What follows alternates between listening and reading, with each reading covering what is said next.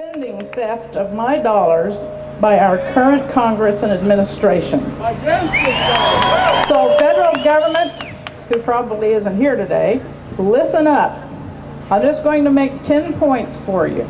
Number one, Congress has abandoned the Constitution and wouldn't recognize it if it fell in their lap and called them daddy.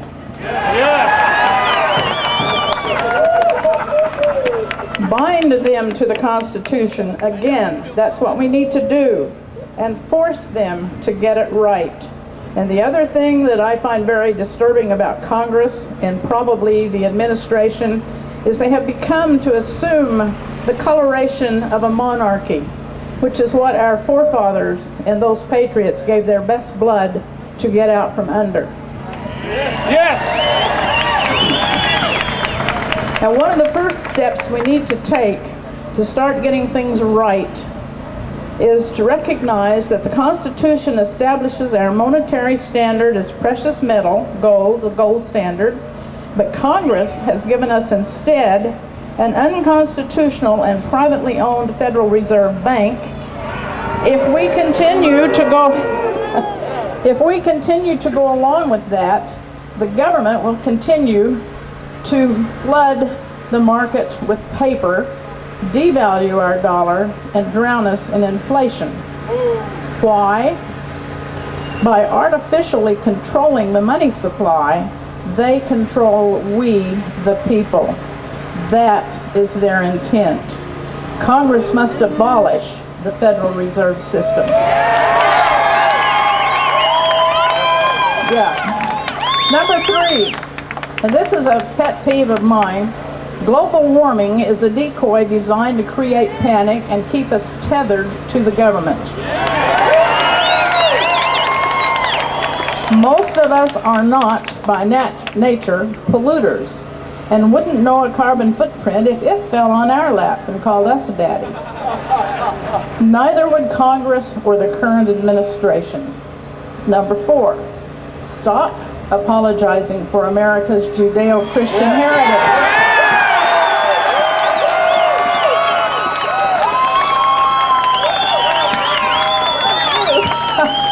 Don't bow to anyone, especially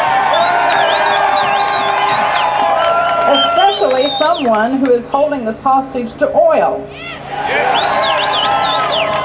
Number five, protect our national sovereignty, America first, and get out of the UN.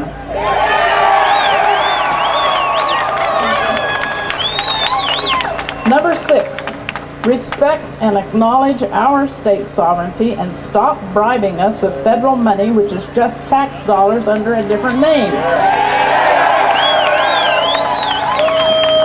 Federal government, you did not create the states. The states and we, the people, created you. Oh yeah, right up to my mouth. Number seven, forget bailouts and stimulus money.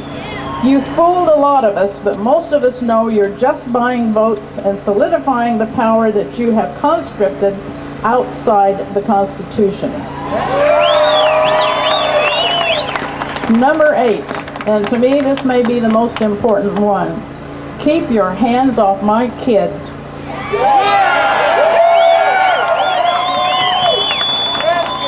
I don't know what to do with dysfunctional parents, but I'm functional. I will train up my child in the way he should go, and I don't need Head Start, preschool, or kindergarten to do it. And I certainly don't need government to tell me how, when, or where. The Secretary of Education cabinet post should be abolished.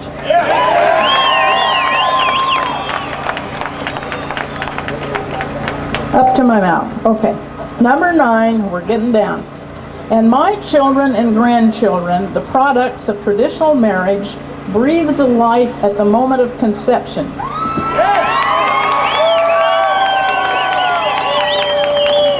And my responsibility for those lives began at precisely that same moment.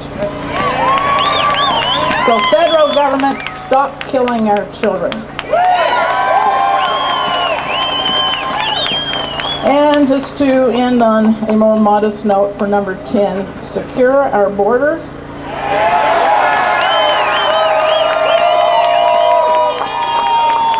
And come and get your killer wolves. That was for me in my district.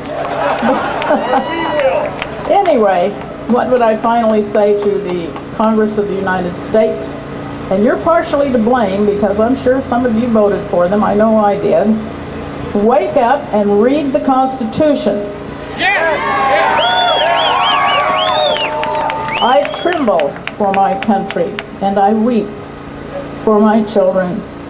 So I will conclude with a quote from Samuel Adams, one of the firebrands of the original Tea Party.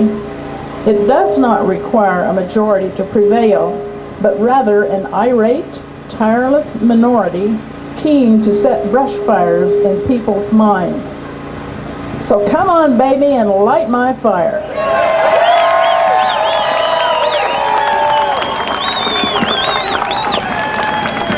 Thank you, Representative Lenore Hardy Barrett. One of the fundamental challenges we face as a government is entitlement spending, the involuntary transfer of